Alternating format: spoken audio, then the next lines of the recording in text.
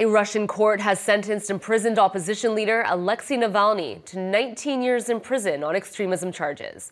Navalny is already serving a nine year term on a variety of charges that he says were politically motivated.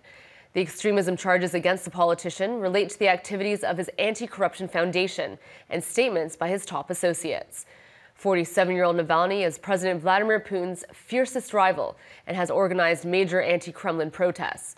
He was arrested in January of 2021 upon returning to Moscow from Germany. В принципе, он является, скажем так, э, эталоном такого мужеского, мужественного отношения э, к, к своей политической позиции, к своей, в принципе, позиции и отношению э, к стране и политического состояния общества.